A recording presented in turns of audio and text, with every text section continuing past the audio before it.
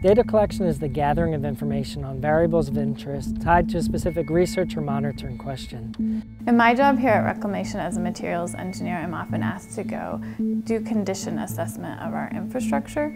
And this can involve things um, like visual assessment, which is photos and videos, also things such as notes, and using instrumentation to collect data on these structures. Out in the field, we have all different um, brands and vendors of instruments, data collection platforms, uh, telemetry devices.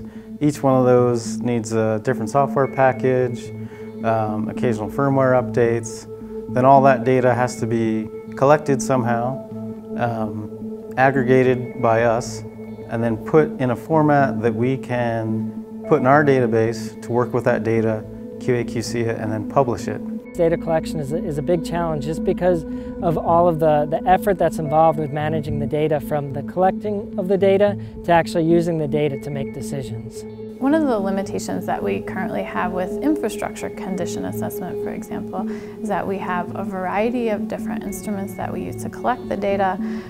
That data is then not tied to a specific point on the structure, and all of those instruments have different software platforms that are used to collect their data.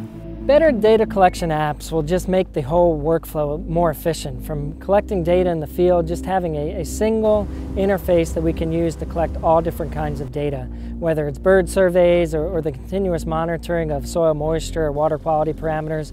We would just have a, a single app that would allow all of our staff to, to collect data using one single interface. Uh, I think better data collection apps will help us um, shorten the time cycles in which we can produce approved data for the public to use. Um, it should create efficiencies and uh, make the life of a technician in the field a lot easier going forward.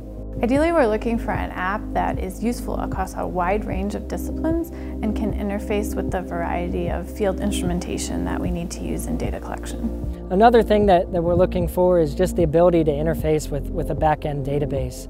Our current collection methods don't really allow us to directly input data from the field into the database. Whatever apps come out, um, it, it needs to follow our business rules so we can be, and the, they have to be transparent so we know what we're doing and what calculations are going on in the background to ensure we have the highest quality data we can get. Prize Challenge could help with data collection apps because it's, it's the, the type of application that requires uh, innovation and I think it would greatly benefit from having the input from, from the broader community that has expertise in, in the development of these sorts of applications. I'm excited about this prize competition because I feel like if we get a good solution, it can really help me do my job better.